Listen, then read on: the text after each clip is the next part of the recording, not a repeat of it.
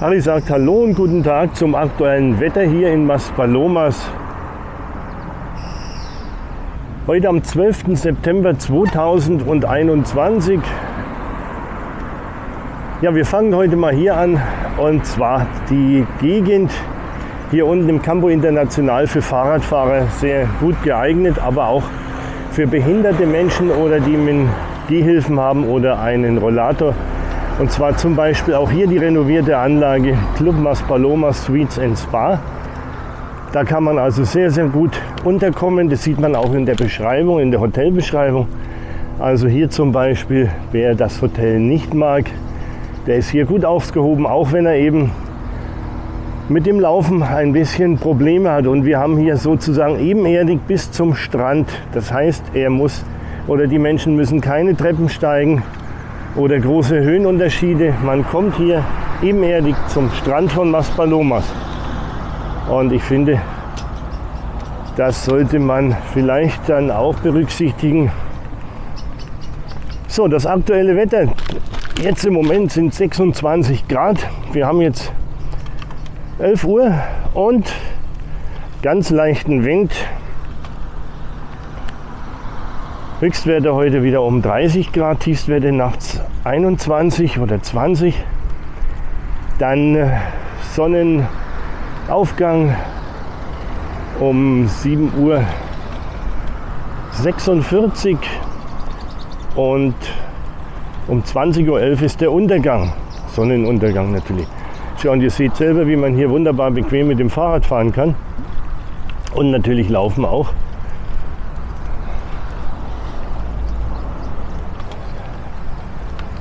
Auch ausreichend Schatten, man kann sich auch mal hinsetzen hier. Vielen Dank jetzt an dieser Stelle fürs Video teilen, fürs Abonnieren, fürs Weiterleiten der Video. Da höre ich immer wieder, dass viele Menschen dann sagen, ja, so bin ich auf den Kanal gekommen durch Freunde und Bekannte. Und natürlich die Kommentare, die netten, die Beantwortung der Kommentare. So, wir fahren hier vorbei am Maspalomas Prinzes. Auch eine sehr beliebte Anlage hier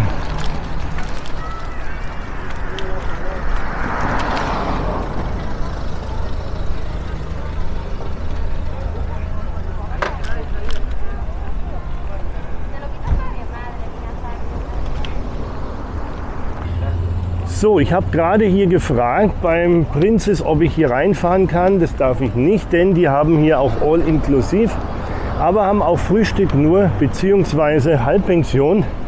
Also hier kann man alles wählen, was man möchte. Sehr schöne Poollandschaft auch.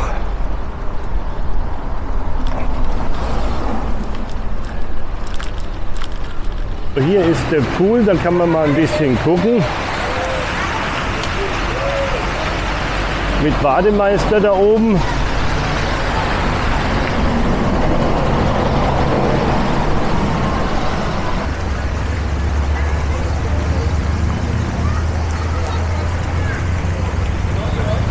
So, mal ein bisschen reingucken hier, ein bisschen neugierig sein. Ja, zu indiskret will ich natürlich auch nicht sein, aber es ist auf jeden Fall sehr beliebt bei den Menschen, bei den Gästen hier.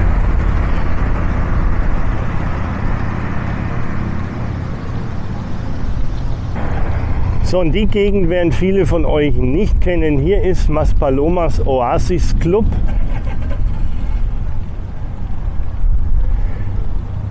Hier kommt man auch nur rein, wenn man weiß, wo man hin möchte.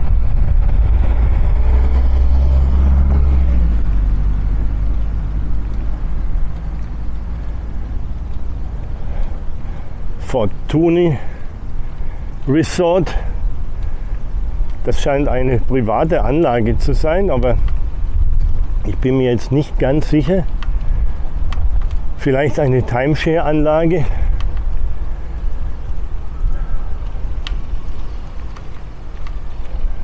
Kann man ja ganz leicht googeln. So, hier der wunderschöne Blick auch wieder auf die Berge.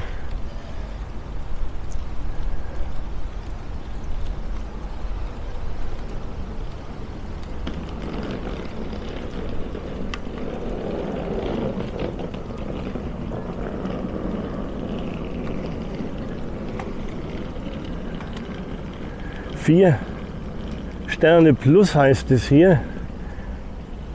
Calderones, Los Calderones. Ja, der Name ist mir jetzt ehrlich gesagt neu, weil ich hier auch gar nicht so oft in die Gegend komme. Dann hier Green Oasis, die Anlage, die ist natürlich schon viel länger.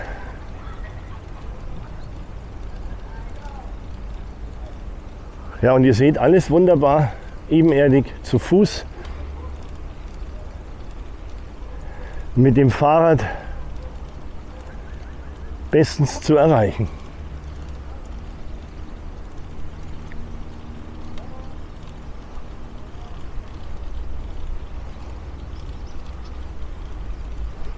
Ja, auch hier einige Camper, die hier stehen. Das ist der Nebenarm von diesem Barranco, der beim Prinzess da rauskommt, sozusagen die Verzweigung.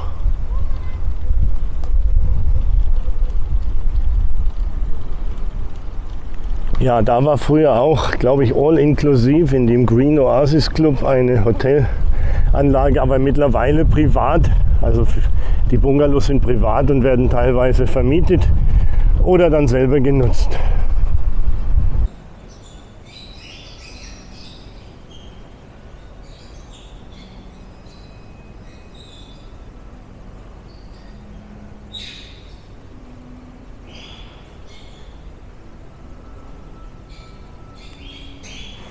Ich habe guten Willen gezeigt und wollte hier fragen an der Rezeption.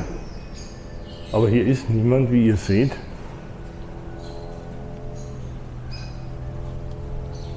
Hotel 4 Sterne, das ist das Zeichen hier. Ja, keine Chance, da ist niemand in der Rezeption. Und dann gehe ich da ganz einfach wieder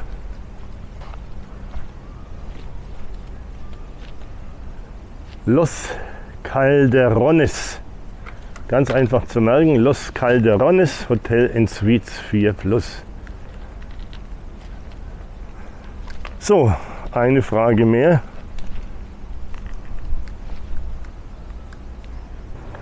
So, ich war hier gerade drin. Fortuni Resort. Also, das ist kein Privatclub, den kann man überall buchen auf der Webseite. Ja, es schaut schön aus, aber ich habe gefragt wegen Personen, die äh, ja, behindert sind mit Rollstuhl oder Gehhilfen. Nein, denn die Bungalows, die sind alle auf zwei Etagen. Also hier zum Beispiel jetzt nicht ebenerdig die Möglichkeit in den Bungalow zu kommen.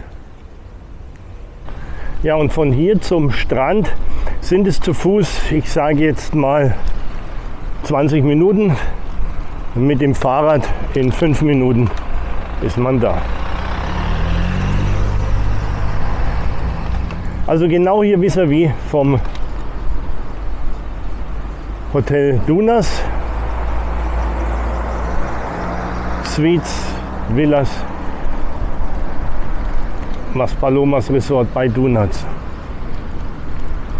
So, und die Straße, die geht hier Richtung Denkmal Kolumbus.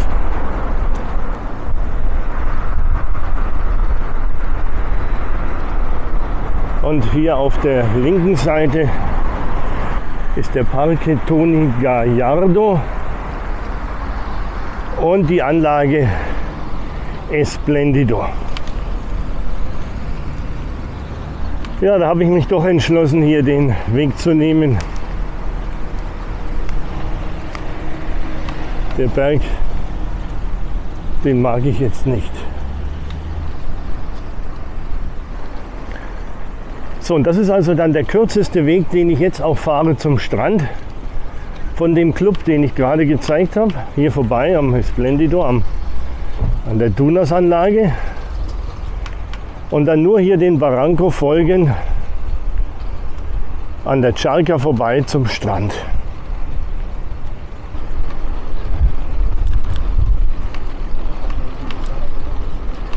So, und das Ganze jetzt, hier drüben sieht man auch jemanden, der einen, einen Rollstuhl hat oder einen Rollwagen.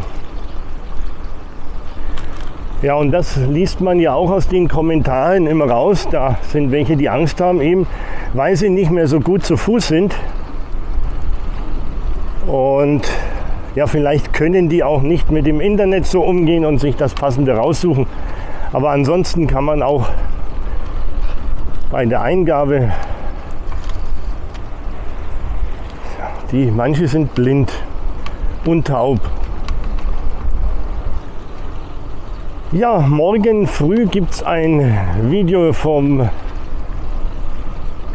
Meloneras Abendvideo nach dem Besuch im Costa Meloneras unten im Café Del Mar. Ist auch ganz schön. Und in Vorbereitung natürlich auch die anderen Hotels. Am besten wäre natürlich bei Tag und dann eben auch bei Nacht. Die Conny bereitet jetzt auch ein Video wieder vor Essen über die Schulter geguckt. Ganz interessant, dass man da mal auch in die Küche gucken darf. Ihr Kanal Conny Canarias, ganz einfach zu finden. Oder bei mir in der Beschreibung dann eben auf den Link gehen. So, und unsere Schalker, die schaut natürlich auch wieder richtig gut aus. Jetzt ist Lebensraum genug. Und die Fische müssen nicht um, ums Überleben kämpfen hier. Ja, und wie gesagt, ein Tag ohne Strand ist ein schlechter Tag.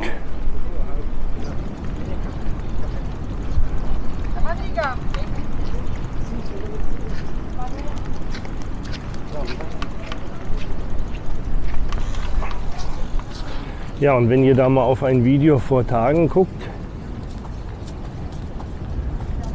da ist der Unterschied an diesen beiden Bäumen ganz deutlich zu sehen. Die haben vollkommen aus dem Wasser rausgesehen.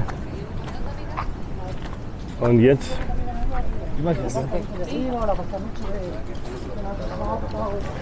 so, mittlerweile ist es auch 12 Uhr. Wir haben 28 Grad hier und ja, der Strand belebt, aber nicht voll, bei Weitem nicht. Da kommen immer noch Menschen, die anderen gehen und Platz ist für alle da, seht selber.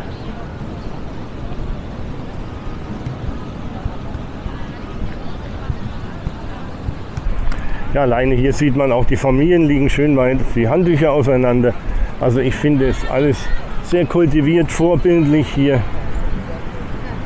Nicht nur hier am Strand, sondern generell.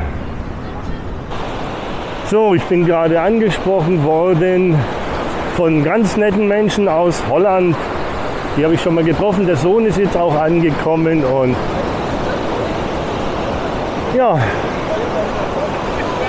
mit dem Ehepaar habe ich vorher schon gesprochen und jetzt ist der Sohn auch noch da und genießt für eine Woche das herrliche Eiland. Er sagt mir heute Morgen ganz früh, da war es richtig dunkel, also nicht, nicht wegen der fehlenden Sonne, sondern es war ganz einfach hier eine richtig dicke Wolkenband, die ich heute Morgen natürlich nicht gesehen habe. So, und jetzt reicht es auch mit dem Wetter, denn es gibt ja noch die Realität mit den Nachrichten.